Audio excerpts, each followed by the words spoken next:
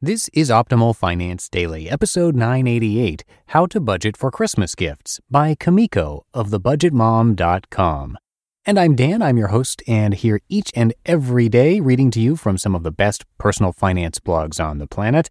And today I've got a new author and website for you. The site is thebudgetmom.com, and Kumiko has a bunch of helpful articles on her site. She is an accredited financial counselor as well as being a mom to a rambunctious boy. So come by her site for a bunch of free resources. And with that, let's hear our first post from her as we start optimizing your life. How to Budget for Christmas Gifts by Kumiko of thebudgetmom.com. Christmas is supposed to be a joyful time of year spent with the ones you love, but for a lot of people, Christmas is filled with pressure, debt, and questionable financial decisions. I know what it's like to fall into that second category. Before I started budgeting, I tried to wing it when it came to Christmas presents and extra holiday spending. I had no plan, didn't save money in advance, and I ended every year deeper in debt with a sick feeling in my stomach. But that's not the end of my story, and it doesn't have to be yours. As I began to take control of my finances through budgeting, I found that I could still shower family and friends with a little extra joy at Christmas. The difference was this I didn't have to charge those Christmas gifts on my credit cards. I didn't have to take on debt with no real plan for how to repay it. I didn't need to end the holiday season feeling frustrated and overwhelmed. I'm going to share some of my favorite tips to help you plan for a debt free Christmas this year, including how to make a Christmas gift budget with free printables, how to Christmas shop on a budget, and ideas to use when you can't afford Christmas presents. How to make a Christmas gift budget. The first step to planning for a debt free Christmas is to, well, have a plan. A Christmas budget helps you avoid overspending and credit card debt. After I started my budgeting journey, my goal was to have enough cash on hand at Christmas so I wouldn't be tempted to fall into old patterns. Save as early as possible. Rocking your Christmas gift budget starts early. You want to tuck away enough cash to cover those extra holiday expenses without turning to your credit cards. It's best to begin this process as early in the year as possible. The amount you save will be the foundation for the Christmas budget you're going to create. So let's say you start in January and tuck away $75 per month out of your paychecks. By November, you would have saved $825 for your Christmas budget. If you haven't started saving yet, don't panic, there's still time. Maybe you can afford to save $150 each month in October and November. While a $300 Christmas budget might be tighter than you're used to, it's still enough to do something special for your loved ones, and that's really the point, not how much you spend. Write it down. Once you've created your Christmas shopping fund, however big or small it may be, you'll know how much you can afford to spend on extra holiday expenses. This is the figure you should write at the top of your Christmas planning worksheets for your total budget amount. On your worksheets, fill in the different areas where you expect to spend money this Christmas. Keep in mind, extra holiday expenses can include more than just gifts. You may also need to prepare your budget for holiday meals and treats, Christmas cards, printing and postage, gift wrapping supplies, holiday travel, Christmas decor, and charitable donations. Finally, you can fill out your Christmas gift budget worksheet. Take your starting budget, subtract any planned expenses from the spending categories you just heard, and see how much money you have left for gifts. After you write down the names of people you want to purchase a gift for this Christmas, you can divvy up your remaining budget to figure out how much you can afford to spend per person.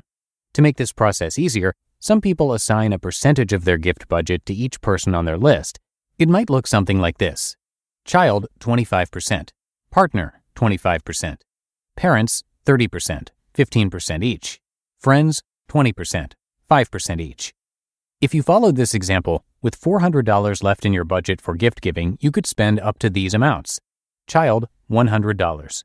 Partner, also $100. Parents, $120, 60 each. And friends, $80, 20 each. You can also use some of the following tips to stretch your gift budget. This might help you spend less than you planned on gifts and add extra padding to your Christmas budget for unexpected expenses. They always happen. How to Christmas shop on a budget. Here are five easy tips to help you Christmas shop on a budget. 1. Leave your credit card at home and shop with cash. 2. Don't give in to the temptation to buy for yourself. 3. Stick to your shopping list. 4 search for coupons and discounts in advance. 5. Use Honey to find deals when shopping online. 6. Use apps like Ibotta, Ebates, Rakuten, Top Cashback, Shopkick, and Mr. Rebates to earn cash back every time you shop online. You can also check out my story on how to lower your child's Christmas present expectations. Ideas when you can't afford Christmas presents. Sometimes there simply isn't enough extra money in your budget to afford Christmas presents. Still, the last thing you want to do is add more debt to your credit cards.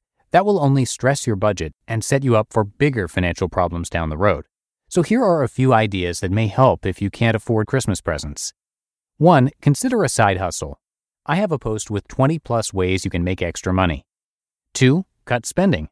Take an honest look at your spending. Maybe you could give up cable, eat out less, reduce your grocery budget, or find other ways to free up extra cash and save more money. 3. Cash in credit card rewards. If you have rewards credit cards, check to see if you've earned enough points to cash in for products or gift cards you can give as gifts. 4. Make DIY gifts. Pinterest is full of ideas on how to make meaningful, inexpensive Christmas gifts. You can bake cookies, make handmade ornaments, and Christmas decor on a budget, and find dozens of different ways to show your love without going into debt. That's the last thing a true friend would want for you anyway. And 5. Give your time. Christmas gifts don't have to be objects. You can give your time to the people you love. Consider making gift certificates for a night of free childcare, pet sitting, or anything that might appeal to your loved one. A future game night at your place with homemade treats can be a hit with younger family members.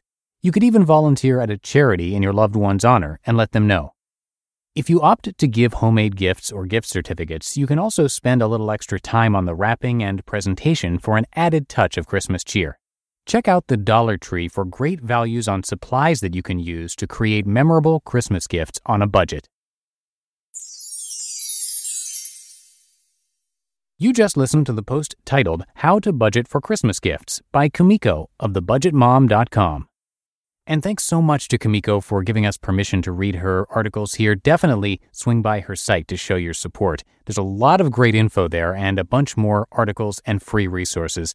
And of course, I'll bring you more posts from her site in the near future. So that's a wrap for another edition of Optimal Finance Daily. Hope you have a great rest of your day, and I'll see you back here tomorrow where your optimal life awaits.